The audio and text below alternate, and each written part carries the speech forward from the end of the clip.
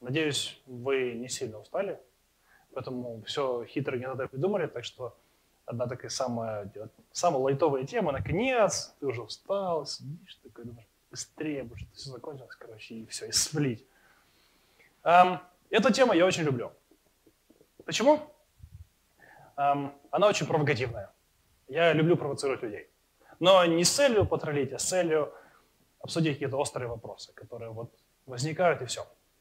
Поэтому хочу поднять какие-то такие тоже острые темы, чтобы мы с вами их обсудили.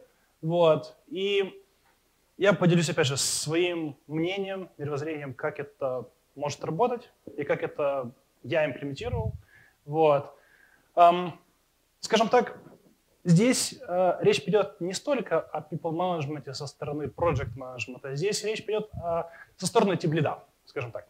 То есть э, здесь мы говорить чисто о людях, о подходах, о том, как, как работать с людьми. Кого нанимать, кого не нанимать, кого увольнять, как человека удержать и так далее. То есть о таких вещах более, скажем так, интригующих. То есть есть множество способов решения проблем. Да? А, здесь я вам расскажу один или два. Вот как я это вижу, как я с этим работаю. Вот. Поделюсь своим опытом. В общем, эм, в общем, в общем, кликер, кликер не работает. Можно его сделать. А, есть, все. Не, а, нету. Не работает. Эм, тогда, сейчас, технический вопрос. Эм, да, звук просто выключили. А, окей, все, спасибо. Есть. Да, спасибо. Пропускаем стандартную штуку. Эм, говорить мы о чем не будем здесь. Мы, будем, мы не будем говорить о NLP, о психологии, о project management и так далее. Это все забудьте. Мы будем говорить о каких-то прикладных вещах, которые вы можете использовать вот прямо же завтра. Ну, завтра воскресенье, конечно, в понедельник. Хорошо. Эм, мы обсудим такие вопросы, которые обычно нас беспокоят. Например, э, как, то есть как выбрать, какой человек лучше? Да? Смотрите, провокативный вопрос. Что значит лучше? Да? Один лучше, другой хуже. Да? Э, люди, люди часто упрощают. Мы говорим, человек лучше, хуже, но мы понимаем его технические скиллы, как правило. Да? А может и софт-скилловые. А может вообще человеческие. Да? Таких фраз стоит избегать. Мы обсудим эм, более предметные вещи. Кто из здесь сидящих присутствовал на каком-то performance appraisal е и чувствовал внутреннее негодование, что его недооценивают? Кто? Есть такие люди? Все, все остальные довольны? Серьезно? Ладно, сделаем вид, что я этого не видел. Обычно происходит как? Представьте себе команду, где сидят люди, которые работают вместе, но одному зарплату повышают, другому нет. И ты сидишь и думаешь, да какого... Почему? Вот, вот почему? Мне непонятно. А, и менеджер тоже сказать не может. Почему? Что скажет? Ты хуже, он лучше? Все, ты уйдешь с команды просто потому, что тебя обидели. Есть формальные подходы, которые позволяют показать уровень знаний того или иного человека, сделать это прозрачным, понятным для всех, а, сделать процесс найма проще для людей. По-любому видели ситуацию, когда открывается какая-то вакансия на проект, да? Вот. А, допустим, нужен там такой, такой, такой чувак. Приходят непонятно кто, да, на вакансию, даже которые вообще не соответствуют. Ты их собеседуешь, выбираешь вот этого, а не вот этого. И от твоего выбора может зависеть многое. Например, ты взял просто на него не того человека. Нанял человека, он вроде бы хороший, но потом не очень. И ты за свой выбор ответственность никак не несешь. Ты привел себе из, и забил, забыл. Вот. Посмотрим это тоже. Давайте зайдем с конца.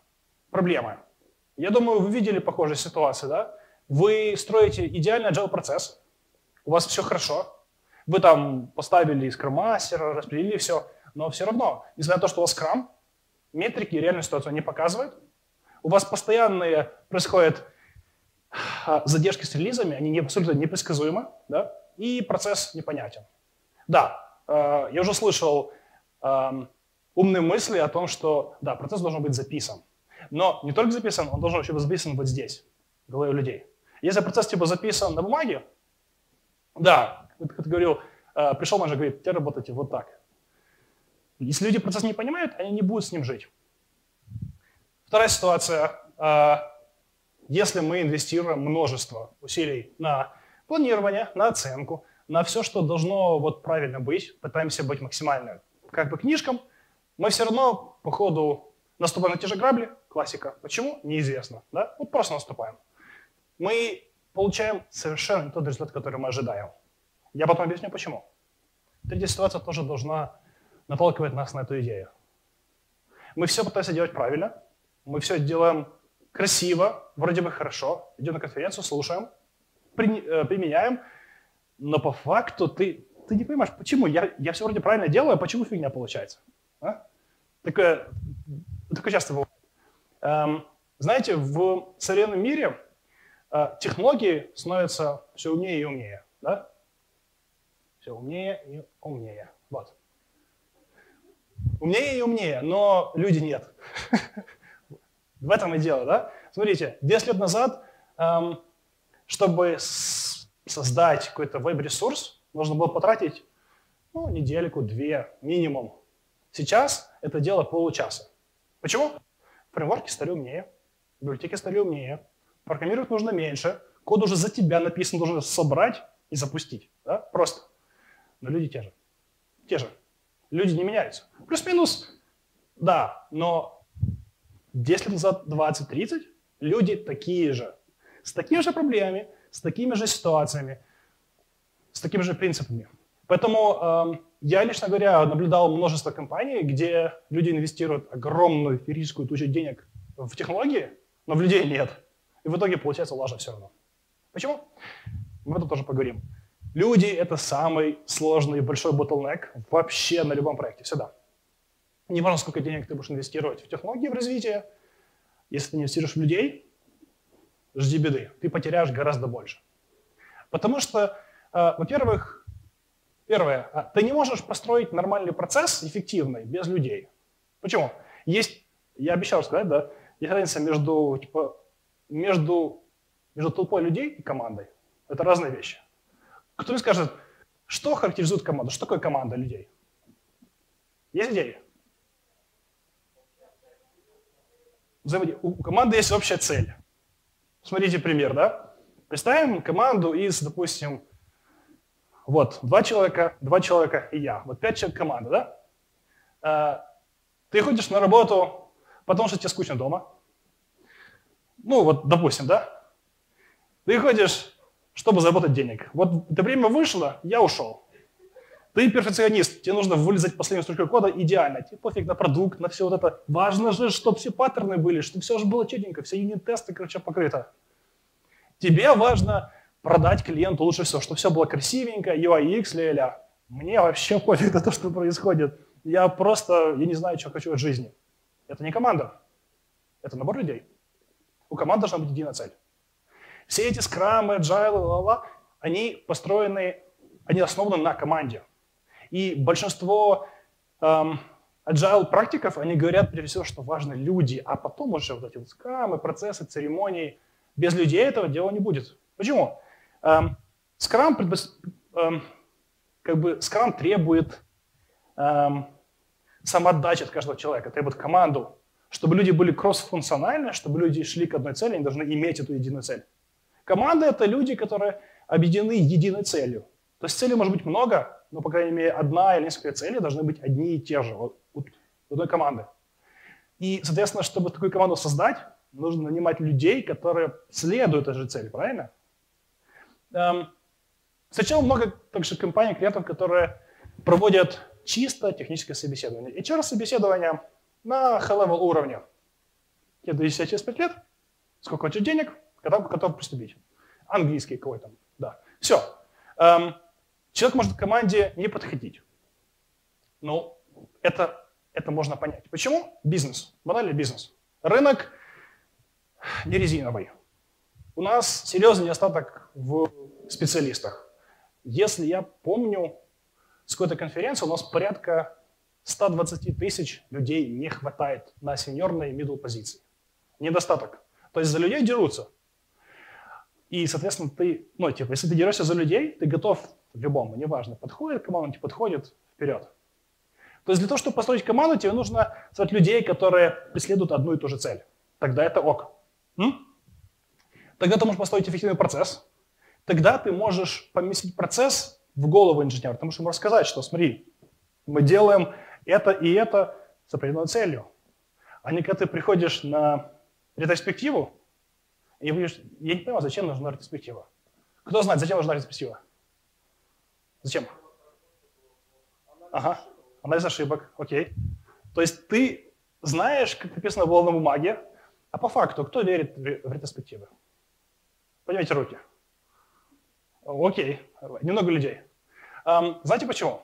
Потому что у многих людей один и тот же experience. Я сейчас расскажу. Смотри, um, я такой на ретроспективе говорю, ребята, мы коммитимся на одно, а в итоге делаем другое. Это же лажа, так нельзя делать. Мы не влазим.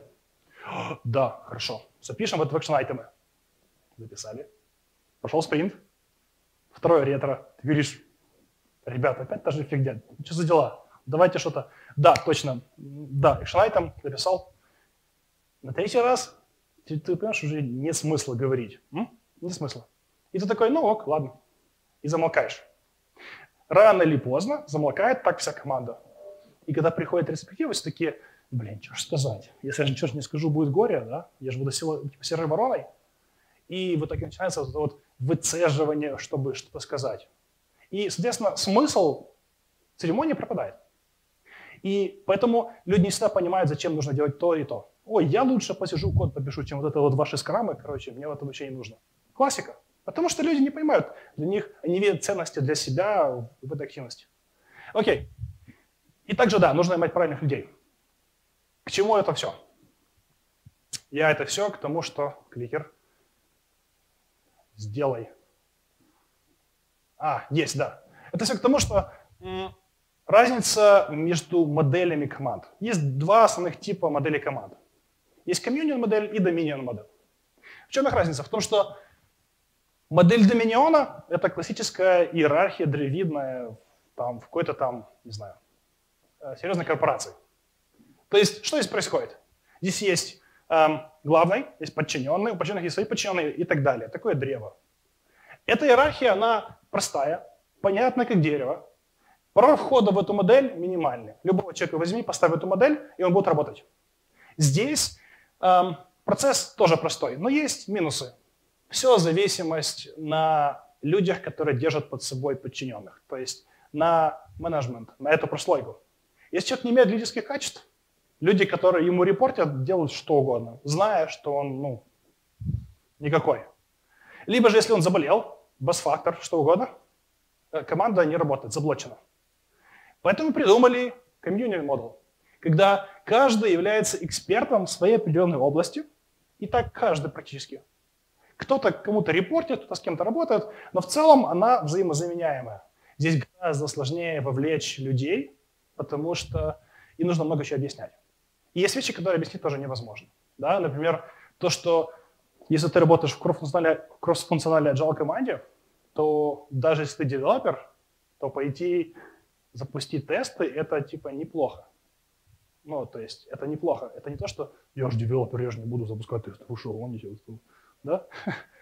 Потому что, ну, типа, этому нет места в нормальной команде. Почему? Потому что такой человек говорит, ну, что я вот это, у меня руки слишком чистые, я не, не туда.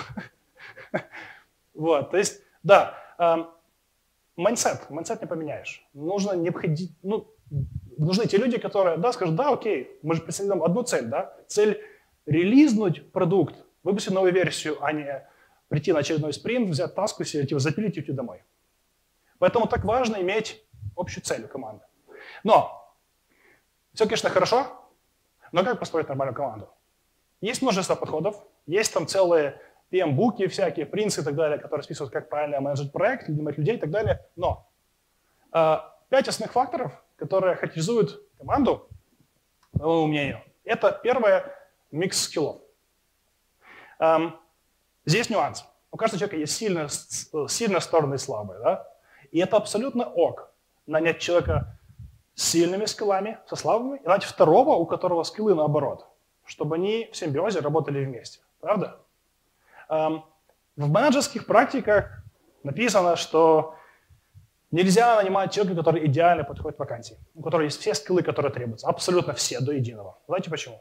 Ну, поработать человек полгодика, ему станет скучно, он уйдет.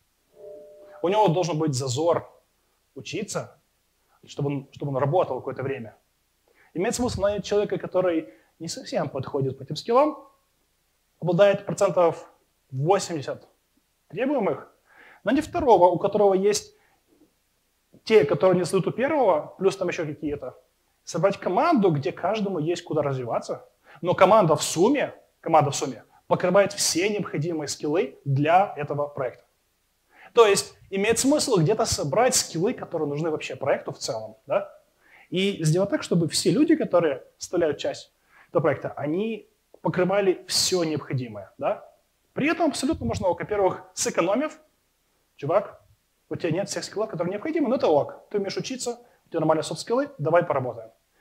Эм, есть смысл, опять же, люди могут учиться, могут развиваться, могут здесь э, продолжать развитие. То есть они будут работать какое-то время, они не уйдут. Не, далеко, не, далеко не, всех, не всем людям стимул – это там деньги. Многим, многие понимают, что нужно инвестировать в свое развитие.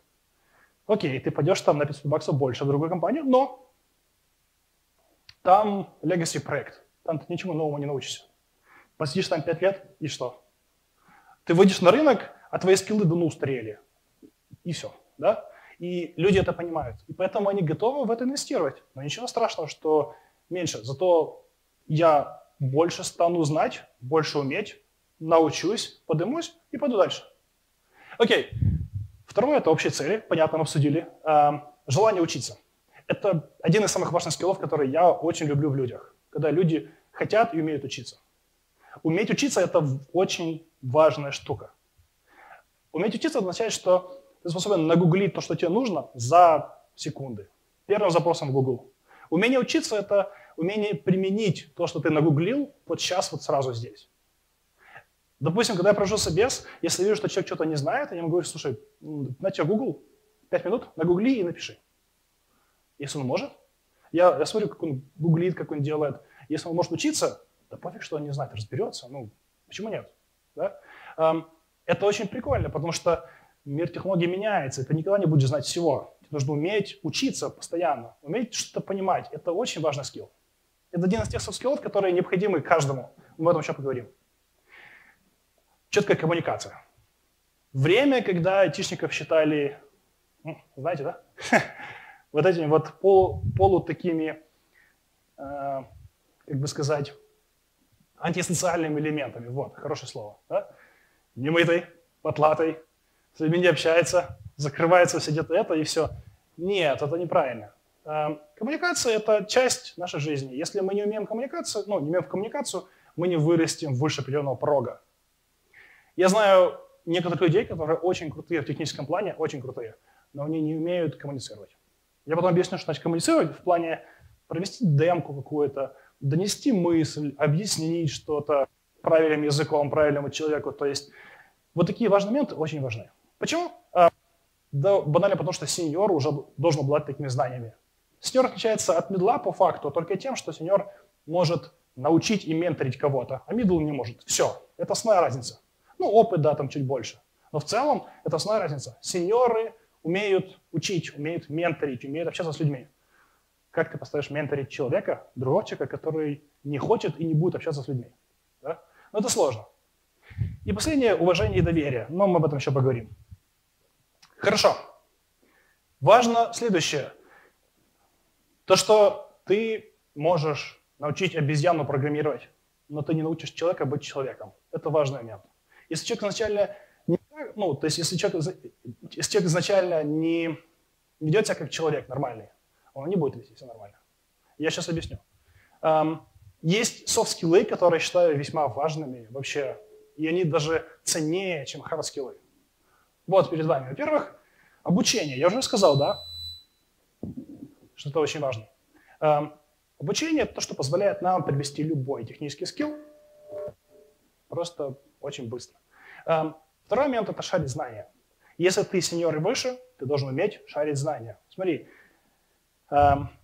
если ты приходишь в какую-то команду, у тебя есть какой-то багаж знаний, да? если ты им делишься с остальными, ты оставляешь свои знания на проекте, да, ты передаешь им другим людям.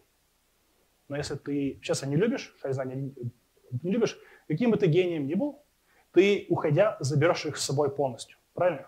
Они не останутся. То есть для менеджера, для команды такой человек неэффективен. Почему? Потому что команда просядет. Я сейчас покажу, как это работает. Дальше умение объяснять. Для того, чтобы договориться с кем-то по, по, по какому-то вопросу, нужно уметь объяснять, донести с точки зрения. Эм, умение вести переговоры, умение эм, конструктивно общаться, да, не так вот, я знаю, что тут лучше ангуляр, и все, и хоть ты ему голову тиши, он вот так. Эм, умение проводить ревью. Критика – это очень-очень хорошая штука. Э, быть критикованным – это один из самых сложных скиллов. Когда ты считаешь себя классным, я думаю, многие считают себя классным, и это абсолютно ок. Это круто. Когда вас ревьюют и указывают вам на ваши неостатки, вы такой, ах, ты же предатель, короче, я тебя тоже устрою. Да? А, хотя это, возможно, и есть правдой, то, что тебе сказали. Это ок. Просто проблема в том, что э, люди оценивают это как личную обиду, а не как реальный способ донесения, что вот здесь нужно поправить. Умение, умение проводить ревью независимо и умение также быть ревьюванным – это тоже очень хороший скилл. А, я думаю, многие слышали или видели, встречали а, лидов, самодуров, да, которые решение в одно лицо и вообще бесполезно. Такие люди очень опасны для проекта. И рабочие конфликты. Они есть всегда.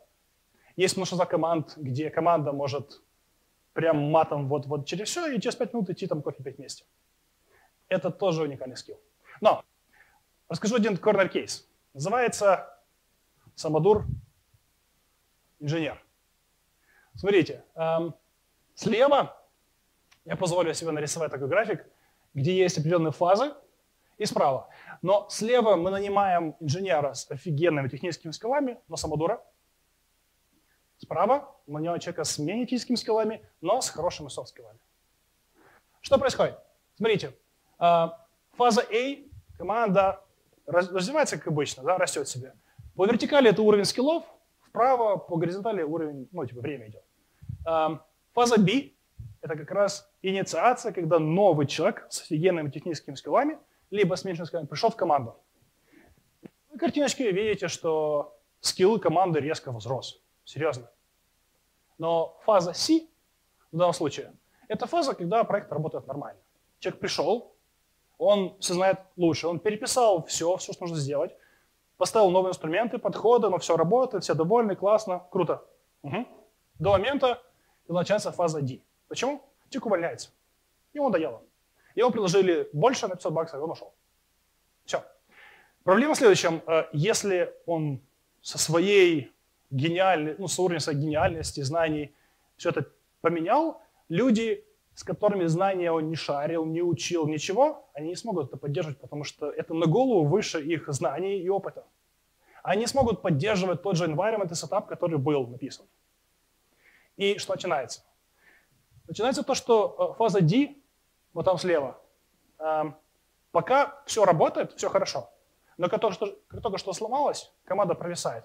Они не могут пофиксить, допустим, тот какой-то гениальный CI-CD процесс, который там он построил и начинают, как правило, откатывать назад, либо же как-то пытаться выгрести. То есть реально проседают по уровню скиллов, по перформансу, по чему угодно. И в конце концов, вот фаза G, они плюс-минус выходят на тот же уровень, который был до прихода этого человека, и особо бенефита для команды нету. Когда есть человек, который умеет софт-скиллы, да, который Рампап потихоньку фаза B меньше, но постепенно команда обучается. Он объясняет людям, как он думает, что он делает, зачем он делает. Он оставляет свои знания у людей в команде. И люди развиваются, и проект развивается, и все хорошо. И даже когда он уходит, фаза И, вот, эм, даже когда он уходит, проект не проседает. Проседает чуть-чуть. Потому что просто человек ушел, capacity стало меньше. Но по факту это такая вот попытка визуализации того, что происходило на одном из проектов, который я видел. Реально, где человек, ну, ведет себя вот так. Другой корнокейс, э, может, слышали, видели, человек говорит, э, вы меня не уволите, потому что я, я тут равлю все. дайте мне два, в два раза больше зарплату, или я уйду. А менеджер такой понимает, что реально, если он уйдет, все, труба. И что здесь делать? Идти на шантаж, ну, это будет продолжаться. Уволить или сам уйдет, ну, будет горе с проектом, заказчик обидится и будет тоже. И начинается вот этот вот, короче, договорки, уговорки и так далее. Это никуда, ничему хорошему не приводит. Но есть маленький лайфхак. А, я, кстати, расскажу такой маленький автоп, как, как тогда было. А, а, менеджер просто предложил э, человеку, говорит, слушай, он был лидом, хочешь быть архитектором? Хочу, как же. Ну смотри, говорит, тебе нужно быть архитектором, потому что ты после такой рейс, тебе нужно, этот, ну, чтобы сходилось там по вилкам. Да? Ну ок. А что для этого нужно? А, ну смотри, ну ты же уходишь с позиции, тебе нужен чувак, который тебя, тебя заменит, да? Выбери, типа, научи кого-то. Окей. Ну, вы понимаете, что дальше прошло, да? Он научил человека, человека креп, короче, его уволили. Ну, это... Вот, то есть, да, а, есть ситуации. Но тем не менее, что важно, эм, как вообще определить hard skills? Да, soft skills понятно. А, можно проводить собеседование, можно вести какие-то переговоры, то есть это ок, но как это все правильно трекать? Skills, как я говорил, нужно собрать список скиллов, которые нужны на вашем проекте. Например, можно взять свой LinkedIn, один-два, да. Эм, и, эм, скажем так, этот список составить и понять, какие скиллы нужны проекту. Потом взять, если ты не помнишь, нет идей, взять профили других людей, понабирать, составить скиллы, которые нужны будут на проекте. Скиллы, которые must have, то есть каждый человек должен иметь эти скиллы, которые необходимы. И скиллы, которые желательно, чтобы у человека были. Must have – это если ты не сможешь и дня проработать без этого скилла. Better to have – это скиллы, которые тебе нужны для того, чтобы эффективно работать. И nice to have – это третья группа. Это скиллы, которые эм, на твою работу прямо не влияют, но как потенциальный какой-то improvement, как для кругозора они пойдут. То есть три типа скиллов, три группы. Ты формируешь, грубо говоря, первую и вторую для твоего проекта, делишь их. И самое интересное, э, на основании этого списка ты берешь и а, пытаешься понять, окей, мне нужен там senior automation. Какие у него скиллы должны быть из этого списка и на каком уровне, чтобы все было хорошо. Дальше. Эм, я не привел здесь скилл-матрицу, потому что я не могу, но я расскажу, как она работает. Идея в чем? Эм, то есть э, в GlobalLogic, например, эм, мы сейчас типа серьезно эту штуку делаем. Смысл в чем? Э, чтобы, чтобы одного и того же как бы, человека разные интервьюеры оценивали одинаково. Часто бывает такое, когда один человек оценивает, вот, и второй оценивает, и у них разные мнения. Они говорят, фу, нафиг его выгнать, а второй говорит, блин, классный чувак, вообще норм, типа, на льда пойдет. То есть реально. Что мы сделали? Э, мы поделили область квалификации, допустим, там, тестирование либо DevOps, на области, которые там в биходе, допустим, там, не знаю, эм, там, тестирование, может быть, там, там тестовые артефакты, там, знание тест артефактов, знание процессов, того, того, того. И в каждой области есть уровни мачурности, зрелости. Там, первый уровень, второй, третий, четвертый.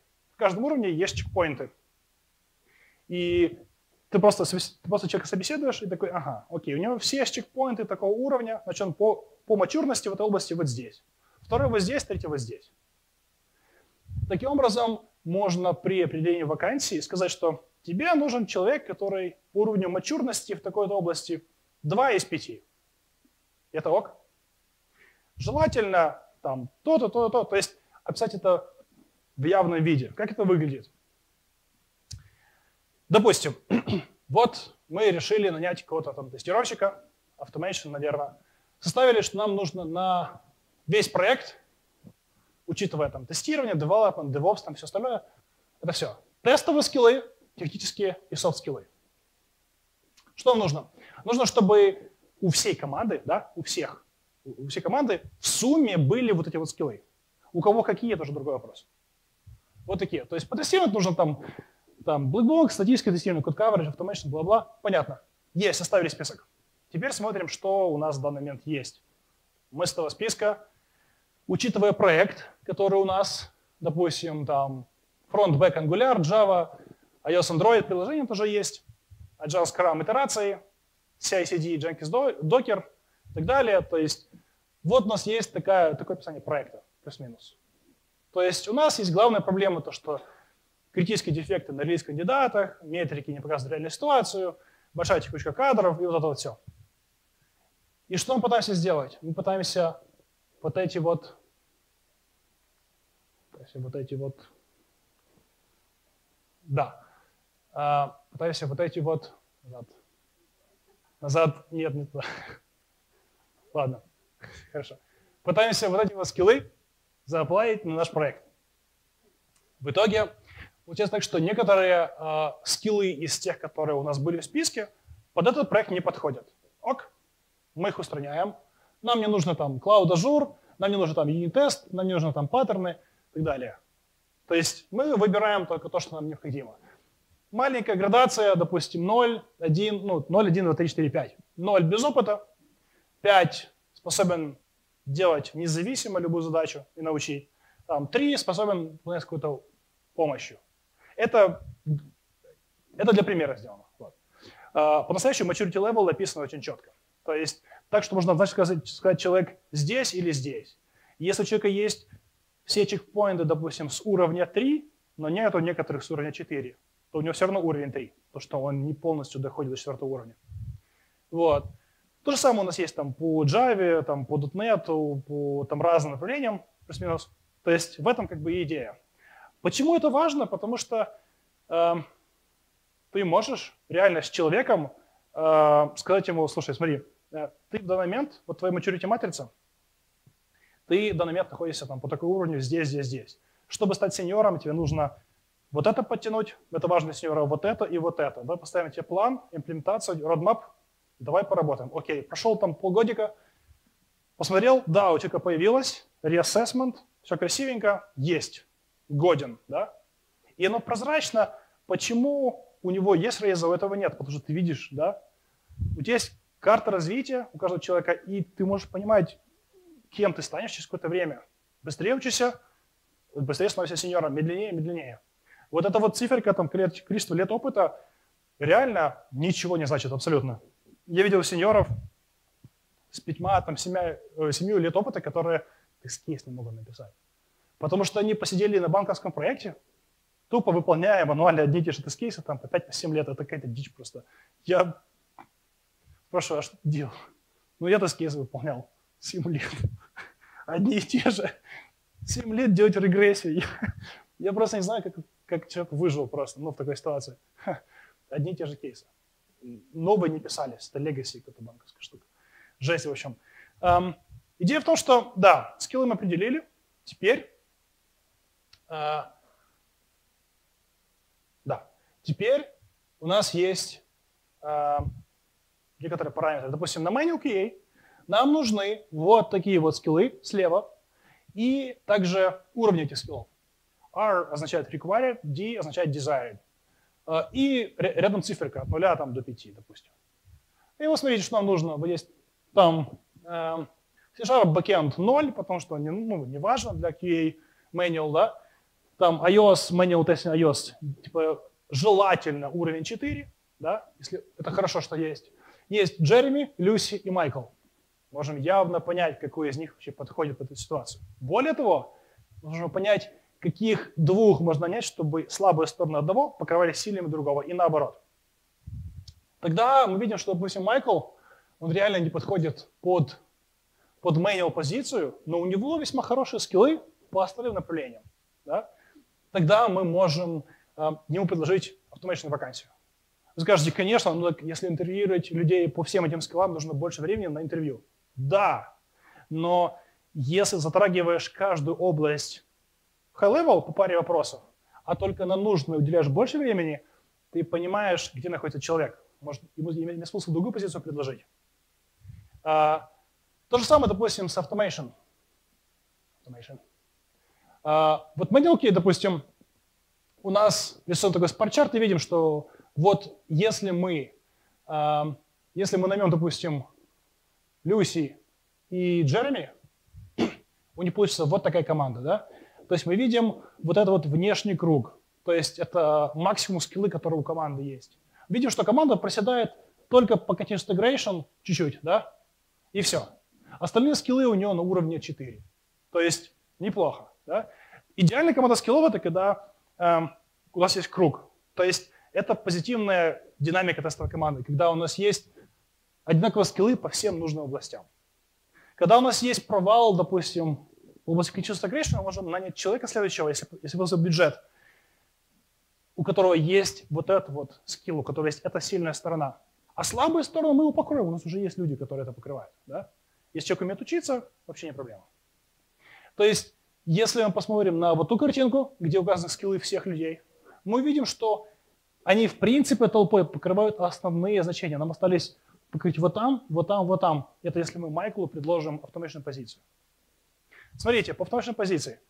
Э, если нам на тот проект необходимы другие скиллы, здесь другие скиллы указаны, вот, указаны другие меточки, видим, что у нас есть Сьюзан, Рик и Боб.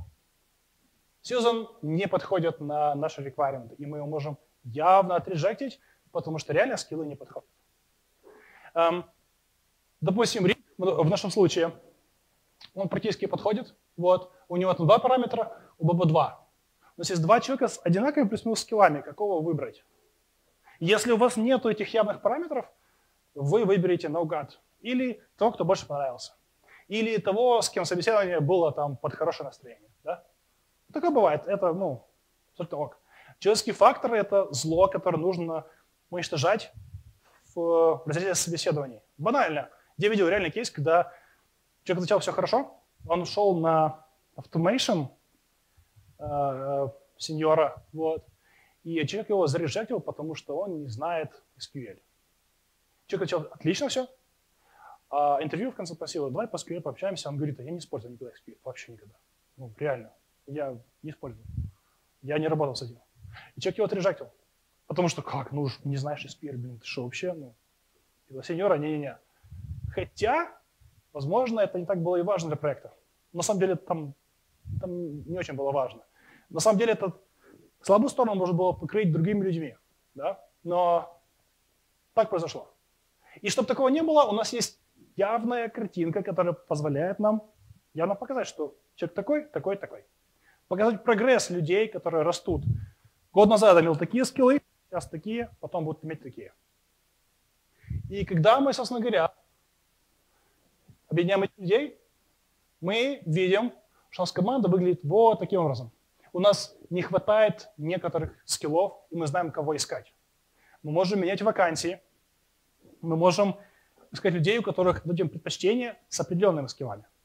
Таким образом, если мы видим большую картинку, большую картинку,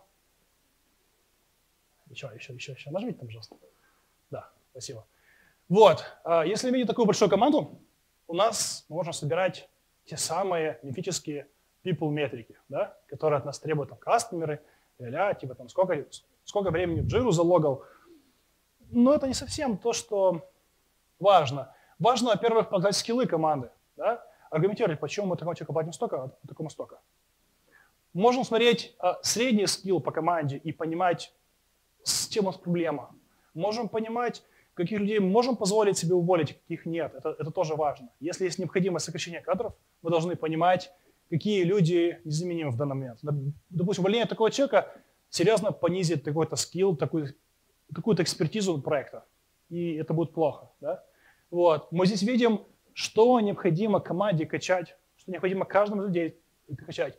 Максимальное значение, среднее и общее количество.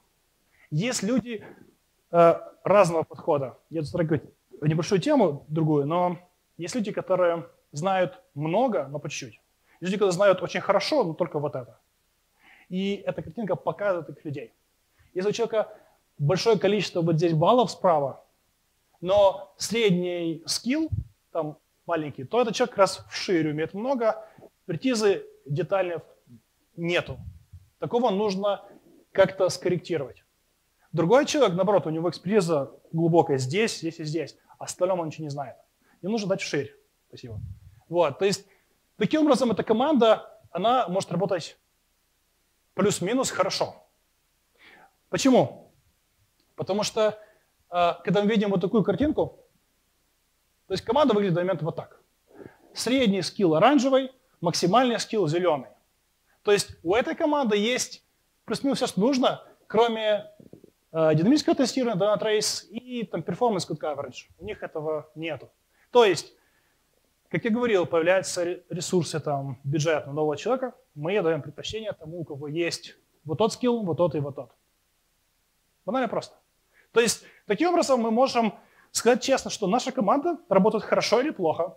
Мы можем собирать кучу разных метрик, можем репортить кастомеру о том, что у нас происходит.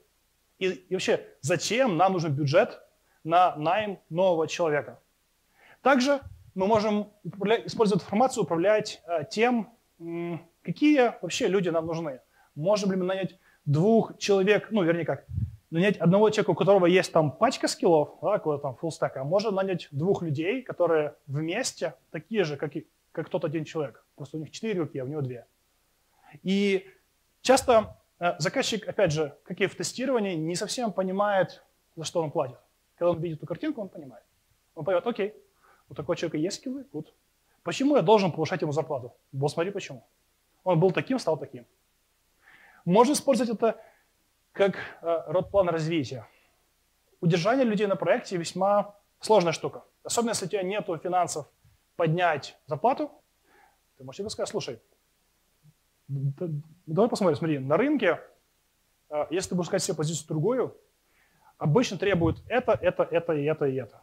А у тебя есть только это, это и это. У тебя вот его скиллов не хватает двух. Тебе нет смысла уходить на рынок, потому что вот посмотри. Вот смотри свою maturity матрицу.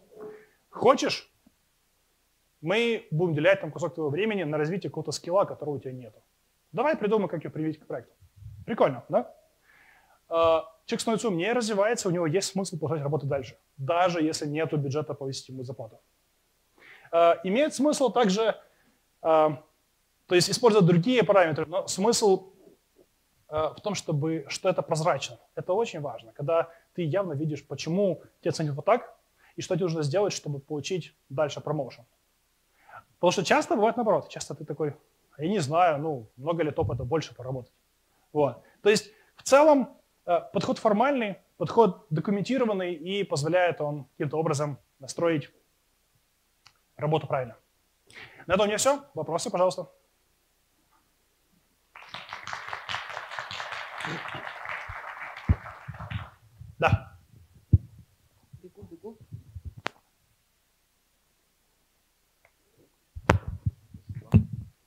Вопрос по метрикам. Получается, есть скилл у человека, например, AWS. Вот ты и я – это два человека, которые претендуют на какую-то вакансию. Нам задали набор технических вопросов, мы на них ответили одинаково хорошо. Но по факту, на практике, когда мы вдвоем начинаем работать, то ты делаешь все аккуратно, а у меня там на каждой пятой строке постоянно какие-то я должен коррекции делать. Ну, просто mm-hmm. так вот получается. Но когда на словах у нас все шикарно. Э, как это на метриках отражается? То есть идея в чем? А, в нашей maturity модели а, вопросы есть теоретического характера и практического. Практического характера а, часто не в плане написать код, в плане посмотреть, как человек думает. То есть есть собеседование по софт-скиллам, которое позволяет понять вот реально скилл в образовании, скилл в ревью и так далее. То есть смотришь еще на софт-скиллы, у кого выше, у кого лучше. То есть если человек хорошо отвечает на теоретическом собеседовании, и не спрашиваем практику, да, может быть такая ситуация, когда два человека одинаковы. Но когда ты даешь какую-то практику, ты видишь, насколько человек эффективен в том или ином месте. Плюс собеседование проводится всегда, это два человека, два интервьюера. Это исключает возможность необъективного оценивания. То есть, когда есть два человека, задают вопросы из своей коллекции. Есть дефолтовые вопросы, которые обязаны задать, и есть свои какие-то кастомные, которые задаешь уже по ходу, как, как придет собес. Вот. То есть Получается, собеседования не бывают одинаковыми. Э, если ты об этом. То есть, да, а, и в таком случае сложно, ну, это практически нереально, когда два человека полностью одинаковые во всех параметрах. Даже если так бывает, скорее всего, примут обоих.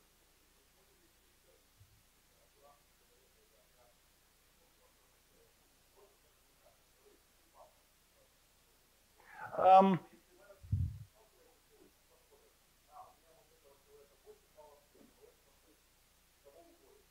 Не-не, ну, ну, ну так это не бывает. То есть идея в том, э, метрики используются, как правило, для, для формирования команды. Для увольнения они практически не используются. Они используются только для того, когда вот нужно э, сократить команду, допустим, да, банально, там урезали, ну, урезали финансирование, и часто клиент берет эти метрики и сам говорит, окей, вот по этим метрикам, да, вот я вижу, нужно быть этого. А ты ему говоришь, подожди, ну, давай посмотрим, потому что эти метрики были собраны n количество времени назад, посмотрим, как они сейчас. Тогда уже можно и посмотреть и код, посмотреть, как там человек аккуратный, но если перегружать как бы, эту таблицу, слишком много времени приходится на интервью, и слишком, эм, слишком дорого получается эфорт на оценивание каждого человека. Потому что людей в компании много, и много разных доменов, это сложно. Где так. Еще вопросы? Да.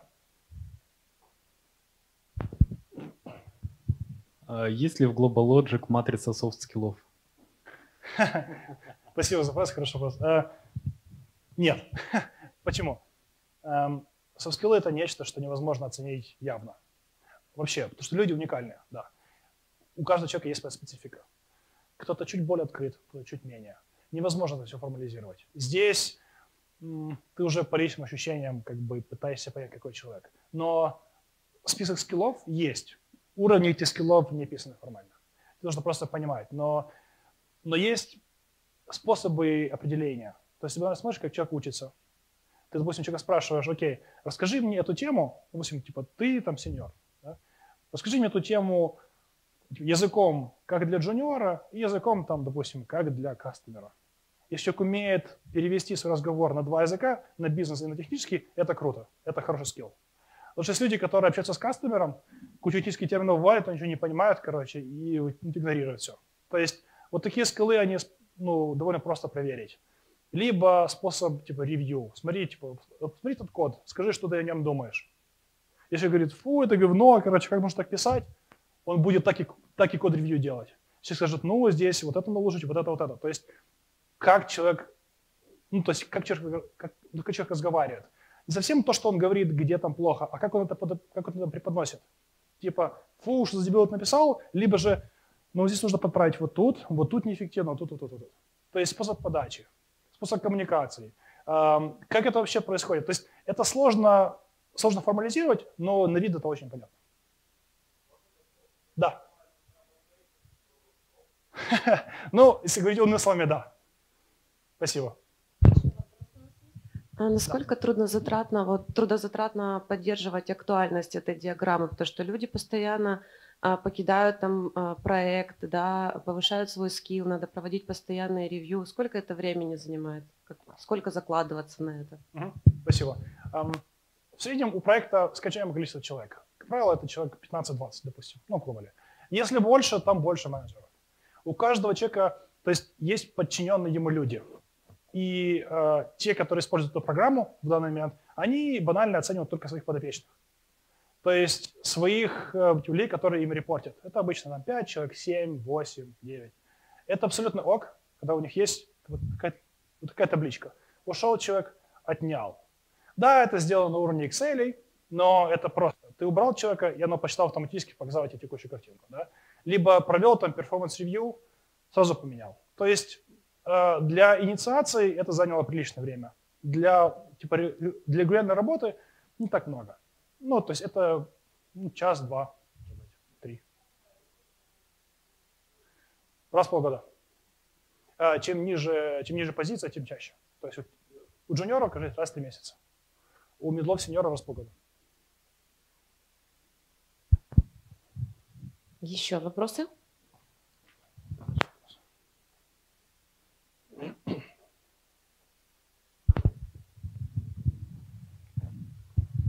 А что за чудная программа рисует вот эти графики? Это первое. И второе, то есть, допустим, а, roadmap, а, как сказать, дефолтный. То есть человек, вот тебе, чтобы дорасти до медла, да, тебе там нужно знать, грубо говоря, там 50 опишек, там, грубо говоря, как они работают, ну, образно говоря, okay. да, там, то есть такой тоже базовый roadmap, чтобы дорасти до медла. Есть ли он? Можно посмотреть, чтобы человек говорит, ну вот сейчас я это выручу и прыгнул. Мгм. Есть у вас такое или нет? Э, Плюс первый. Что-то рисует, э, это рисует PowerPoint. Есть. Э, В Excel это называется Spider Chart. Spider Chart – есть такая формочка, добавляешь туда на вход данные, оно рисует. Вот. Я часто шучу, что последние вот, вот года полтора-два, когда начал заниматься, я senior PowerPoint developer. Потому что я люблю слайды чаще, чаще, чем все остальное. Это программа, которую использую чаще всего. Но, эм, да, что человеку знать? Есть такие инструменты. У нас есть внутри система там по называемым бендам и грейдам. Бенд это большое, состоит из грейдов маленькое. То есть такая вот иерархия, как человек растет по каждому треку. Там manual, automation, вплоть до project management, там все что угодно, это описано, да. И там описано не название фреймворков, а high-level, а именно проблемы, которые человек может решить. Вот, допустим, может ли человек провести демо кастомеру самостоятельно? Подготовить и сделать? Может? Окей, это хороший поинт для сеньора, допустим, да? Либо, допустим, был ли у человека опыт эм, там, допустим, планирования, эстимирования там, и разработки э, куска продукта самостоятельно? Был или нет? Был или не был, да? True, false. То есть, и тогда можно поставить явные цели, типа, окей, сеньора тебе не хватает, у тебя опыта нету такого, такого, такого. Давай я тебе поручим этот опыт. Нужно сделать такую компоненту, ты будешь ее делать. Good. И человек получает такой опыт ну, ну, таким образом. То есть без явных названий фреймворков, но в основном это проблемы, которые человек решал или сможет решить.